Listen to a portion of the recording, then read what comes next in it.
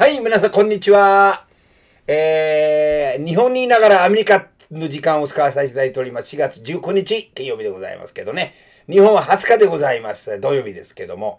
まあ、今日も皆さんと元気でやっていきたいと思っておりますけれども。いやいやいや、それにしても、えー、ドジャースは弱いね。この間までね、うちののコーナーの、えー、鳥すがりさんがね、いやー、ドジャースは強いからいいですね、心配ないですね、とおっしゃったんだけど、まあ、もう2敗しましたね。連敗が続いております。え、まあ、大谷さんは昨日からなんかすごい元気出て、非常に良くなってきておりますけど、まあ、良くなってきてるとも周りが打ってないで、大谷さんが、あの、また、盗塁を成功させたりとかですね。まあ、今日4打数1安打なんですけど、えー、まあ、どうしたら良くないけど、雰囲気はまあ良くなってきてるので、あとはファーボールも1個取って、RBI があるし、この RBI っていうのは非常に大きいんですよね、打点が取れるから。えー、まあ、あとはね、4回打席ということはですね、ご存知のように、4回ということは、まあ、あまり打ててないということですね。はい、ということで、えー、まあ、とにかく、それも情報全部ございますので、お送りいたしますね。えー、それ以外には、この75って書いてありますけど、175で、まだ、あのー、残念ながら1本は出ませんね。そのうちに出るでしょう。えー、まあ、麻酔と並んだままなっております。えー まあ、ということを巡る話とかね、あと大谷さんの巡る話とか、あとハワイの不動産が、大谷さんがやってらっしゃるっていうのは知らなかったですね。すごいね、いろいろやられてるということで。えー、あとはね、まあ、あの、大谷さんの友人と、あね、えー、水原さんの友人がね、あの、えー、こんな、日ハム時代にはこんなこと何も言わなかったね。まあ、このアメリカ人なんですけど、ここのね、この、まあ、ここ、ここですけど、これも3人ね、マイクルとさんと、ミッチさんと、まあ、クリスさん。この3人がですね、いやいやいや、すごくいい人だったよ、と。あの、家内のね、まあ、お産があった時にも、病院に連れててくれたりとか、いろんなね、あの、ヘルプしてくれましたよ、と。ところが、これやってるとは全然知りませんでした、という話が出ておりましたね。えー、まあ、ということで、え今日も参りましょうか。はい。では、よろしくお願いします。えー、さて、まずはですね、えー、ここを負けましたので、これがね、残念で10敗になりましたよ、皆さん。ということで、25日、えっ、ー、と、19日、日本20日ですけど、19日というか、ここですね。はい。ここも、この負けという字が来ます。はい。はい、19日は負けました。で、あとは2、はい、2回あります。なんとかね、今日はね、あの、吉野さんはね、あの、やっぱり打たれまして、それでなんとかね、4対4に戻したんだけど、すぐ他のいいところで出てきて、また打たれてしまいました。だからね、うん、何か流れがね、ちょっとチャランパンになってて、思ったよりね、流れがうまくいってないようでございます。ね、悲しいですけど、そんなもんでございます。それでは行きましょうか。はい。100、えー、午後もまだでございます。はい。はい、もうちょっと行きましょう。はい、こちらもまあ皆さんご存知ですよね。はい、ということでございます。今日も谷さんは、えー、これご存知のように、スターティングラインナップの中の、えー、DH ね、指名打者、翔平大谷が、あの、2番で入っております。いや、私ね、コーチとしましてはね、なんでこの人たちが全部一緒にならなきゃいけないのかな、少し、ちょっとね、散らばってもいいんじゃないかなと、打ってる人との間にちょっと入れたりとかして、僕はそう思うな。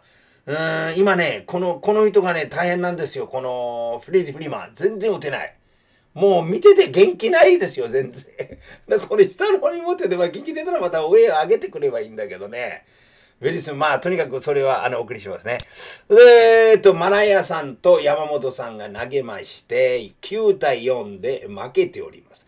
ここ見てもらえばね、メッツが2点取って、また4点だったんで、ここで2点、2点、4点、同点したのよ。その後にすぐさまに違う人が出てきて2点取られましたね。また後にまで2点、また1点、9対4で最終に終わりました。ところこのマナヤさんにしても山本さんにしても、どっちも負け投手にはなっておりません。同点になったから、一旦、あの、このね、0-0になって、あとまた、えー、違う人が出て、その人が、まあ、あの、点数が上げたということで、その人の、あれになると、えー、クレジットになるということでございますね。えー、ということで、いや、まあ、私も同じですね。12勝9敗。え？え、これは前のあれですから、ここですね。えー、ドジャーズは、まあ、後で出て、あ、ここですね。12勝10敗。12勝10敗。で、この10勝8敗。これはね、ニューヨークもいろんなチームがやっぱり強いですね。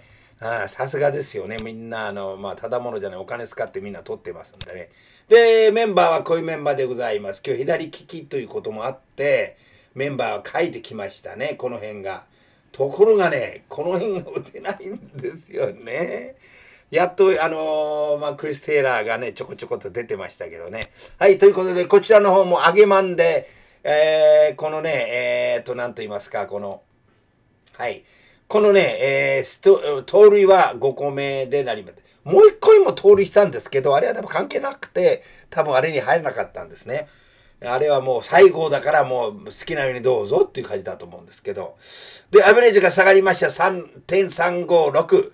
で、オップスも101.022ということで下がっております。えっ、ー、と、RBI がね、これが大きかったんですよね。RBI 11。はい。ということで、RBI が非常にありがたい。これをね、素晴らしいね。あの、大谷さんが聞こえたのかわかんないですけど、非常に感謝でございますね。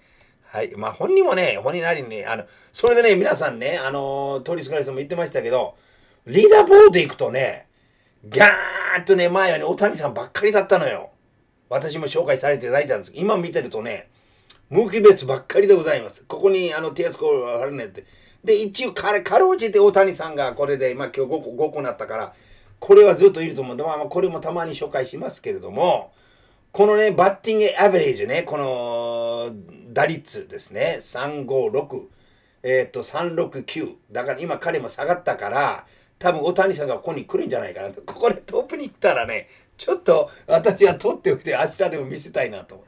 で、こちらの方まだ見てないので、あ後でまたご視聴。でもね、あの、この本塁打も変わってないし、それでこれ RBI が1個増えたからね。これでも RBI18 個もあるもんね、この人ね。この人もこの人も18、8。ね。はい。そして盗塁が5個。で、これ4から5個になりますね。これも。まあ、1000以上で、これは3割以上ということで、これはでも悪くも最高ですよね。はい。ということで、こんな感じでございます。皆さん、ここも見ていただきたいと思うんですけどね。大谷さんがワンヒットで、えー、アルビア、あ、ランも1個入ってるってことで、ね、これ買えない。15個、ランが1個ってことですよね。だこれ16個になるんですかね。はい。はい、16個入れましょう。はいはいはいはい。いいですね。16個。はい。これが 16! OK! はいはいはい。いや、やっぱそうだと思いますけど、まあ、もし変わってたら、あの、またあれします。で、大谷さんがランが1個で、えー、ヒットが1個で、アリビアが1個で、ビビが1個で、えー、そして三振が1個。これがーって一番並んで、3561022。ごめんなさい。Sorry、ね。ということになっております。フえー、フレディ・フリーマンがね、ちょっとやばくなってきたよ。259。うん、ゼロ。全部ゼロ。スミスもね、あの2、2ヒット打ってます。あ彼はね、素晴らしいよ、やっぱり。大谷さんの同じアベレージになっていますね。25、あちょっと待ってください。356、356。はい、そうですね。いやー、この人はすごい恐れ入ります。キャッチャーにしながらね、よく打つんだなと思っておりますけどね。で、ヘルネンデさんもワンマンヒット。で、もう一人のヘルネンズはゼロで、えー、このアウトコールアウトマンもね、あわやホームランだったけど、違ったね。それパハースもワンヒット、ローハースもゼロ。あとはもうこの辺はね、あの、ちょっとね、元気がない。ね。元気がない、元気がない。はい。ピッチャーの方行きます。ピッチャーの山本由伸がですね、6イニング投げまして、やっぱりね、打たれちゃうんですよね。4ヒットも実績点上げてますから、ヒットは7個、4。ね。うん、そして、えー、まあ、アンドランね、実績点は3で、バービークは1個で、9個三振取っておりますからね、悪くはないですけど、これちょっと上がりましたね。このハダソンが来て、よっしゃ今度止めてくれたら勝てると思ったらバカバカまたこの人も実績1点。これも2点。これも1点。だから後から出てきた後はみんなダメでしたね。ということはまあ、ダメでした。相手のチームが良かった。だからどっちでもいいんですけど、まあ、そういうコントでございます。だから弱いチームなんかいるのかね？という感じで。ドジャースはね、エンジェルスも負けるぐらいだからね、ちょっとわかりません。はい。打席参りましょうはい、じゃあ行きましょう。はい、えー、どうぞお願いします。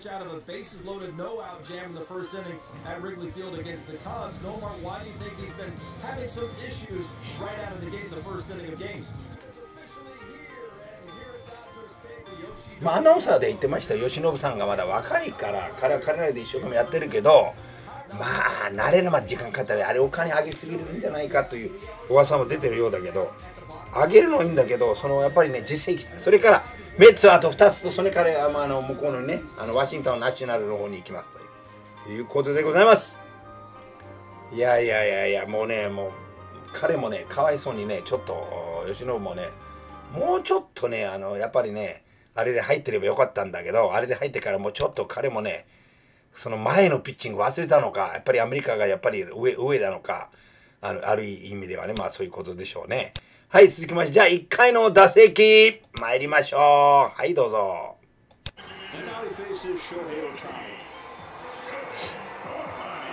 シャヘオータニなんかすごい声出すんだけど。これ左利きですからね。あ見ました見ました。一曲大丈夫ですよ皆さん見て。うん素晴らしい the sports fans on 570 on this one-two pitch takes Anaya kicks and throws. これでフルカウント持っていったでしょ？素晴らしいよ。これもねあの強くは打ってるのよ。たまたまあのまあそうなっちゃうゴロになっちゃったんだけど強くは打ってましたよ。だからね雰囲気は良さそうになってきてるの私は思うにはね。はい続きまして2回打席でございます。はい2回行きましょうこれがね面白いんですよね。あのービビを取ってその後にねあのーあのー足を生かして、えー盗塁してそれから盗塁からあの一気に二塁からホームが入ってくるという。これで、まあ、まずバーベキューですね。ファーボール。選びました。そしてこれでドーンといってただしねこの人がいけないんだよ。ガーンと押して本当に冗談じゃないよお前は。って言って怒るくらいよ本当にもう。なんでぶつけるんだ頭かわいそうに大谷さんも痛そうだよ。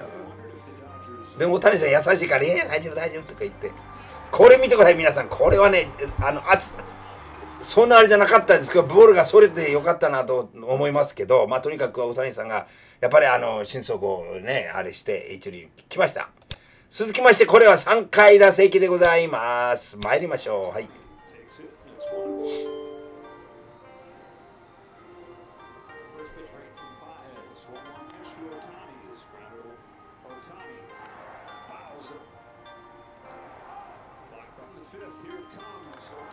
これは綺麗鋭いほらあの打球も覚えちゃってで三塁から一気に入ってこれで RBI を取りました打点ですね、えーはいということでございましたで4回の方はですねあの申し訳ないですけど映像がねちょっとあれだったんですけどまあこんな感じでフォースアウト。フォースアウト大谷翔平選手がゴロでフォースアウトとなり、二塁手のジェフ・マクニール選手が遊撃手のフランシスコ・リンドール選手に送球します。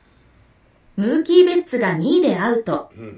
大谷翔平が1位に。一塁ということでございましたね。はい。ということでまあ4回ということで悲しいのはねやっぱりねあのたくさん打つと5回まで行くんですけどね。4回で終わってしまいました。はい。ということで、えー今日は残念でありますが話題の方に参りましょう。今日の話題まずこの話題からいきたいと思っております。はい。どうぞお願いします。松井秀喜さんの記録に並んだ一発に手が震えた大谷翔平のホームランボールをめぐるファンの物語。その日は何もなければ大谷翔平、ドジャースの元通訳水原一平容疑者の話題で持ちきりになるはずだった。4月12日のことである。前日、米連邦検察が水原容疑者を銀行詐欺容疑で訴追したと発表。会見が開かれると同時に37ページにわたる告訴状も公開された。内容はすでに報じられているので詳しくは触れないが、水原容疑者が提出したスマートフォンの記録から、水原容疑者が頻繁に掛け金の上限を上げるよう懇願する様、彼が徐々に違法賭博業者に追い詰められていく経緯が綴られていた。また、水原容疑者がいかにして大谷の銀行口座にアクセスしたのか。その巧妙な手口も明らかになった。それだけで十分に衝撃的だったが、12日、水原容疑者は自ら出頭した後、連邦裁判所に出廷。その時に足かせをはめられていたという事実は多くを驚かせた。これをどう報じるのか。試案しているうちにその日の試合が始まった。初回、大谷が打席に入る。1ボールからの2球目、マイケル・キング、パドレスの投じた2シームを捉えた打球は、綺麗な放物線を描いて左中間へ舞い上がると、やがて多くのファンが待ち構える客席に飛び込んだ。メジャー通算175号。あの松井秀喜さん、ヤンキースなどに並んだ。うん。つまり、日本人メジャーリーガーでは最多タイとなったのである。一発の余韻もそこそこに、左中間スタンドへ足を向けた。松井秀喜を知らなかった女性ファン。遡ることその9日前、大谷の初本塁打をめぐって一悶着あった。セキュリティが強引にその記念球の返却をキャッチしたファンに迫ったと報じられたのだ。うん。交換条件は大谷のサイン入りバット、ボール、帽子だったが承諾しなければ、それが本物だと証明する認証シールを貼ることを拒否すると言われた、と、そのファンは米メディアに訴えた。結局は、そのファンを12日の試合に招待するということで和解したのだが、今回はどうなるのか。そもそもファンはどう受け止めているのか。急いで向かうと、ちょうどボールを取ったカップルが、セキュリティと話しているのが見えた。入れ替わりでそのファンに話しかけると、彼らは手元に残しておくことにした、と言いながら、大事そうに記念のボールを見せてくれた。イニングが終わってから裏の通路で改めて話を聞くと、ボールを手にした女性は手が震えた、と言いながらも、記録のことどころか、松井さんを知らなかった。え、そうだったの？周りに集まってきた他のファンが売れば結構な金額になるのにと声をかける。でも、それを聞いて、さらにこのボールが特別なものになったわ。ためらいはなかった。男性の方もホームランボールを取ったのは初めて。しかも大谷のボールだからいい思い出になると声を弾ませた。なお、ボールには S1 と刻印されていた。記録級であることを示している。うん。記録がかかっている時だけに使われる特別級で、イチローさん、ゲンマリナーズ特別補佐兼インストラクターが MLB 通算3チオモと安打を放った時には、4という数字だけが刻印されていた。へもっとも将来、オークションにかけようと思っても、それだけでは証明にならない。大谷が打席に入るたびに同じ刻印がされたボールが使われており、客席にファールが飛び込めば、同じボールを持つ複数のファンが存在することになる。MLB が認証シールを貼ることで、本物であるお墨付きを得ることになるが、そのカップルが手にしたボールには、そのシールが貼られていなかった。求求めれば可能なはずだが、気にもしてない様子だった。うん。慌ただしくそのファンの取材を終えて記者席に戻った時、すでに試合は中盤に差し掛かっていた。いや、でもね、あのーそのセキュリティは、いや、あの、その、しあの、このハンコを押さないって言ったんだよ。押さないんだったら、まあじゃあもうかお返ししますよって言っただけで、ここちょっと言ってないんですけど。水原容疑者の話題は、はいもはや遠い記憶になっていた。うん。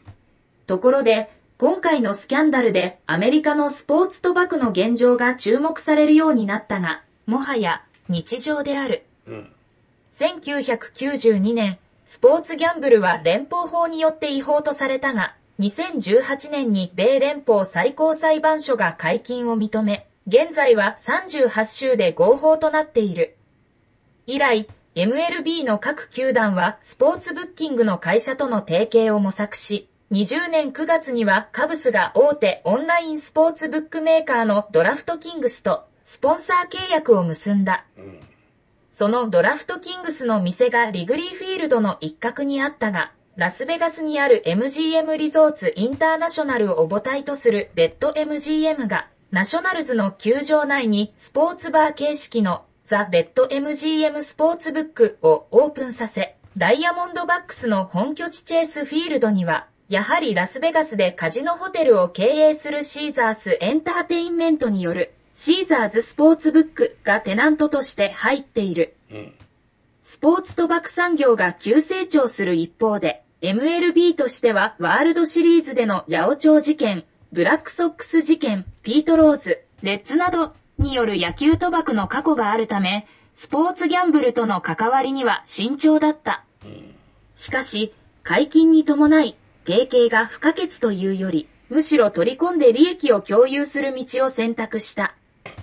実は、数年のうちに導入されるであろうロボット審判、ストライク、ボールの自動判定は同じ文脈にある。誤審があれば、多額のお金が裏で動いているので、主審が危険にさらされる。本来、審判にとってそこは聖域で、ビデオリプレイ制度の導入なども当初は拒絶反応があったが、今や受け入れに積極的。誤審はもはや野球の一部とは言えなくなっているのである。うん、でもすごいねこれかっこいいね本当やってるんですねはいということでございます。続きましてこちらでございます。えー、ハワイ。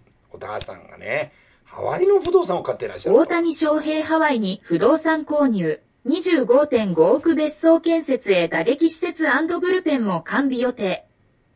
ドジャース大谷翔平投手。29が米ハワイに別荘を建設予定であると、米国の複数メディアが17日に報じた。へウォールストリートジャーナル電子版によると、大谷はハワイの海が見渡せる敷地面積約5000平方フィート、約465平方メートルの不動産を購入し、別荘を建設する予定だという。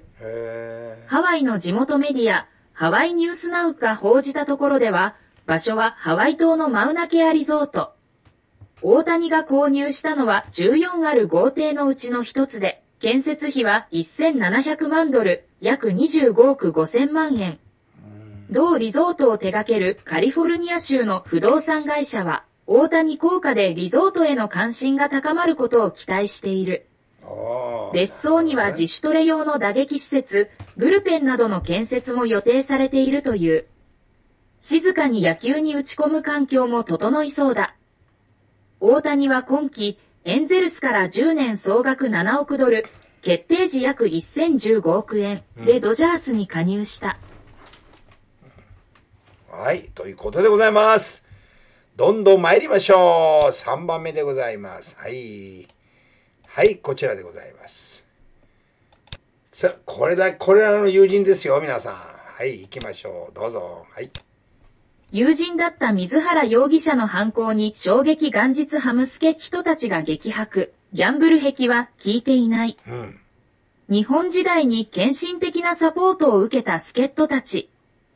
米大リーグドジャースの大谷翔平投手の通訳を長年務めた水原一平容疑者が銀行詐欺罪で訴追されたことは、現在も各方面に大きな波紋を広げている。大谷の口座から1600万ドル、約24億5000万円以上もの不正送金したとされる事件。米スポーツ専門局 ESPN は日本ハム通訳時代の水原容疑者と交流があった助っ人外国人選手たちの証言を報じた。一様に信じられないといった様子で日本時代のエピソードを公開。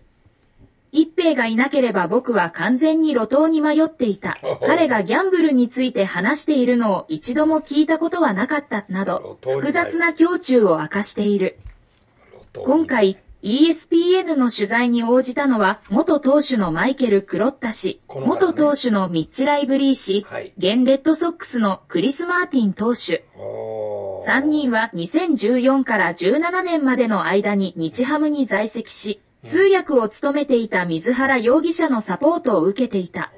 クロッタ氏は春季キャンプが始まるまでの3週間に水原容疑者から様々なことを教わったという。へ記事では、水原は地下鉄カードの買い方と街の回り方を教ええた。もう素晴らしい。来日して最初の週にはスーパーマーケットに何度か連れて行き、何を食べ、何を料理するのが好きか伝え、通路の歩き方を教わった。店の中を歩き回り、水原は忍耐強く陳列のシステムや日本語のラベルの翻訳をして回ったなどと手厚い対応を受けたことを紹介している。うんうん。また、水原容疑者に札幌雪まつりに連れて行ってもらったことや、息子のために丸山動物園のチケットを手配してくれたこと、病院に付き添ってくれたことも触れられており、一平がいなければ僕は完全に路頭に迷っていた路。頭に迷う。野球だけでなく、日常生活でもだ、と語っている。うん。講座開設の手助け、妻の妊娠に付き添ってもらったエピソードも、ライブリー氏も水原容疑者に対しては、彼は僕にとって日本での生命線だった。この人ね、ライブ通訳は完全に自分の延長なんだ。コミュニケーション手段も書類の作成方法もない。彼らなしでは生きられないんだよ。僕は彼らを友人として見ていた。従業員としてではなくね、と信頼を寄せていた。へ記事では、地元の銀行に連れて行き、給与の振り込まれる口座開設を手助けした、といったエピソードにも触れている。えうん、うん。水原容疑者とは帰国してからも連絡を取っていたというライブリー氏だったが、うんこの一件が報じられてからはそれもなし。それらしい。記事では、殺害の脅迫に対処するのに忙しいんじゃないかと思う。彼がギャンブルについて話しているのを一度も聞いたことはなかった、といったコメントも明かされた。うん。妻のダニエルさんが妊娠した際に水原容疑者に病院まで付き添ってもらったというエピソードも明かし、一平に全幅の信頼を置いていた。すごい。絶大な信頼だよ、と語っていたのはマーティン。今回の一件で取材を受けた際には、妻と僕はいくつものニュースで一平の顔を見て、お互いを見つめて、これは驚いたって言っているんだ。僕らはショックを受けていると語った。さらに、窃盗というのに混乱させられるんだ。もちろん人は変わるものだけど、その部分が理解できないんだ、と事件に驚き。水原容疑者に恩がある助っ人たちにとって、今でも信じられないといった様子だ。うん。まあ、ということでございますね。えーマイクルとミッチとクリスね。えーまあ、すごいお世話になったようでございます。はい。今日の最後のお話でございます。参りましょう。どうぞ。はい。水原一平容疑者を母校が結出した卒業生、名簿から即削除。高校時代の恩師は過去回想でただ唖然、印象が乏しい人物。まさか全米で話題をさらうなんて。現地4月12日、ロサンゼルスドジャースの大谷翔平の元通訳で、その前日に連邦検察から銀行詐欺罪で訴追されていた水原一平容疑者が裁判所に出廷した。黒いスーツに白いシャツ姿で出頭し、複数の条件提示を受けて即日保釈。今回の法廷で罪状認否は行われず、次回5月9日に実施される予定だ。うん。そんな中、米ネットワーク ESPN が水原容疑者の過去を紐解くレポート記事を掲載した。大谷の通訳である水原はいかにして選手たちのライフラインとなったのか、と題して、日本ハムファイターズ時代に通訳を務めた現レッドソックスのクリス・マーティン投手、マイケル・クロッタ元投手、ミッチ・ライブリー元投手の証言インタビューを紹介している。うん。さらに同メディアは水原容疑者の高校時代に切り込んだ。彼は2003年にロサンゼルス郡東部にあるダイヤモンドバー高校を卒業し、うん最低限の足跡を残している。足跡の。サッカー部に所属して、第3ゴールキーパーでほとんどゲームには出場できなかったが、真面目に毎日練習に取り組んでいたというと伝え、当時のアシスタントコーチで、英語教師でもあるケンプ・ウェルズ氏を直撃した。うん。水原容疑者の印象を次のように振り返っている。うん。生徒に関して言えば、大抵すごく良い生徒かすごく悪い生徒を覚えているものです。でも彼はそのどちらでもなかった。ただ淡々と自分がなすべきことをこなしていました。うん。うん。実に物静かで、特別印象に残るような人物ではなかったですね。教師もクラスメートも、まさか彼が全米のニュースで話題をさらうような人物になるとは想像もしていなかったでしょう。そして、ESPN はダイヤモンドバー高校の公式ホームページの変化に注目。そこには、結出した卒業生の名簿が記載されており、サッカー、米女子代表フォワードのアレックス・モーガンらが居並ぶリストがある。だが事件発覚からほどなくして、水原容疑者の名が削除されたという。ESPN は、水原がカリフォルニア大学リバーサイド校を卒業した事実はない。うん。大学広報は在学者リストに彼の名前はなかったと断言した。と、県の学歴詐称に関しても触れている。ということでございます。いやいやいやいやいや、あのやっぱりね、あの、気がついたらね、もう破産、もうとにかくね、あの、ほん、悪い人じゃないと思うんですよ。でも、あの、どんどんどんどんハマっていっちゃったということしか言えないですね、こう見てると。ただね、ハマっていってもね、大谷さんが、大谷さんの夢があるから、それ壊すようなことするんじゃないよという感じでございますけどね。自分の夢を壊しても結構でございますけどね、もう本人自分自得でございますからね。はい、ということで、はい、ということでございまして、今日はこれにて、さよならの時間がやってまいりました。いつも皆さんこのコーナー見ていただきましてありがとうございました。今はもうあの、しばらく2ヶ月ほど日本にいますけれども、その後にまた戻ります。えー、もう非常にね、たの、気になるのはやっぱり大谷さんがね、新しくね、ドジャーズに入ったので、なんとかうまくいってほしいなというのが、まあ、願いでございますけどね。はい。ということで、そのこのとコーナーでさよならさせていただきます。それでは、See you later, alligator! See you later, alligator! それでは皆さんまた明日、お目にかかります。どうもありがとうございました。